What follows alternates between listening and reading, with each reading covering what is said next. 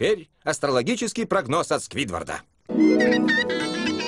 Сегодня я расскажу все о стрельцах. Стрелец это э, полулошадь, полуюноша, вооруженный луком. Хорошее качество стрельцов — целеустремленность.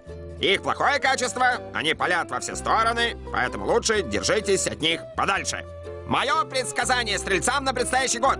В основном они будут есть овощи.